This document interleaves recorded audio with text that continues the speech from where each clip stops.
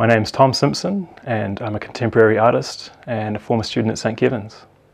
It's probably no surprise that painting was my favourite subject at school.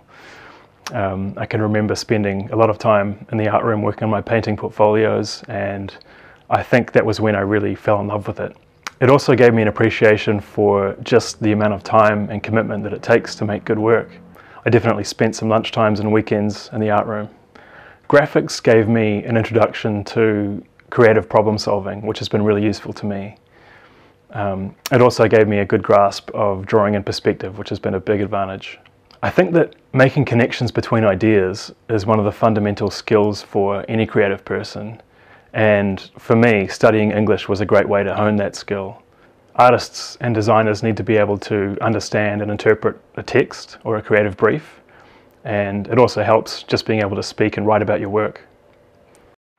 After high school, I went on to do a Bachelor of Design at Massey University in Wellington with a major in illustration. I took at least one fine arts paper while I was at Massey, but I was quite disappointed with it. And I think I gravitated towards illustration because there was a lot more emphasis on the fundamentals of drawing and painting than there was in the fine art department. During my time at Massey, I was exposed to a lot of different mediums and styles, which was fantastic. I was basically computer illiterate when I started the program, but I gradually got more and more comfortable using digital tools. The big advantage of digital tools is that they allow you to work more quickly and you can also be a lot more flexible in terms of making changes, which becomes really useful when you're working with a client. When I graduated, I was making basically all of my work digitally, including a bit of animation. I don't think there's such a thing as a perfect education, and there are certainly things that I wish my program would have covered in more detail. But because of the internet, it's so much easier to fill those gaps in your knowledge now than it ever has been. I think you can really take responsibility for your own development.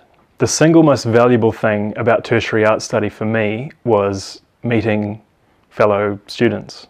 I think that when you meet people who are on a creative journey that's similar to your own, you can assist each other in some really useful ways.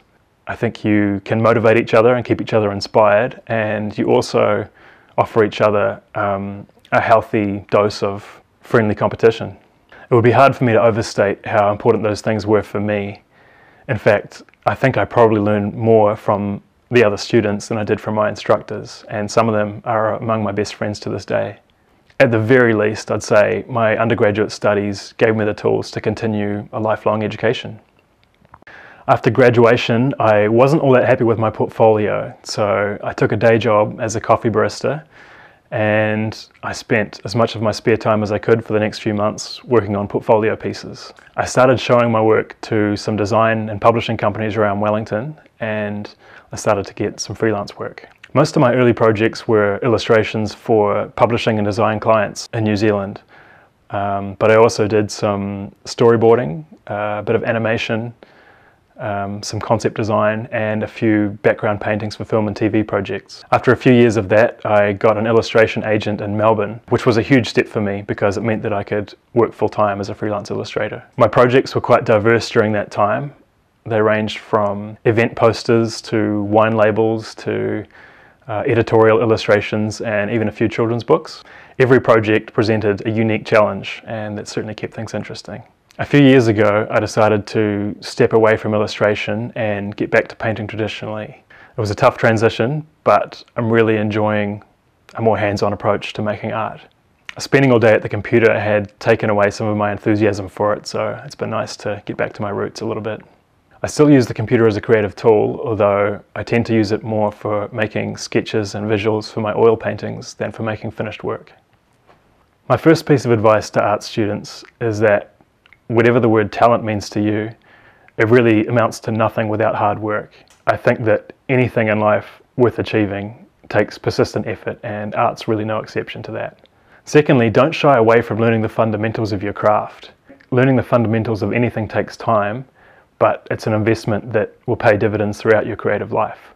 And you'll never regret the time spent to build a solid foundation. Number three, pay attention to what speaks to you throughout your creative life, people will respond to different aspects of your work in different ways. And this can sometimes lead you in a direction that you don't necessarily want to go.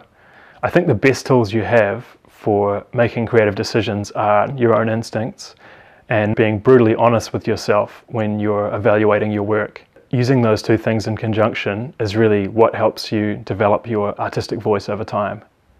Number four, I think it's a good idea to learn to use both traditional and digital tools. Both have their inherent strengths and weaknesses, and if you develop a grasp of both, then you'll have a well roundedness that not every artist has, and you'll probably have more opportunities in your career because of that. Number five, make friends with other artists and creative people. I think that community is really important, especially if you're trying to do something as crazy as become an artist the connection you have with the creative people in your life is one of the things that makes a career in the arts such a rewarding thing. And finally, I'd say take advantage of the knowledge and resources on the internet. If you do that, then you don't need to suffer from a lack of knowledge in your local area. You can access video lectures, demonstrations, online communities, mentorships. I've made use of all of those, and the benefits have been huge. My only caveat is that it's a good idea to do your homework and find out who's offering the good stuff, and there is plenty of good stuff out there. I'll finish by saying I think it's the best time in history to be an art student. The tools have never been better, and also the knowledge has never been more freely available.